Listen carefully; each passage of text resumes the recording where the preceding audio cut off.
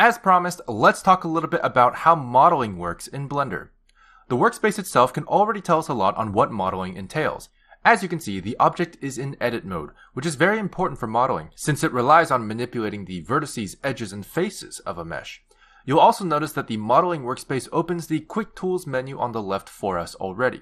While in edit mode, the left hand side Quick Tools menu provides several more tools for us to use including Extrude Region, Bevel, Knife, and Loop Cut, to name a few important ones.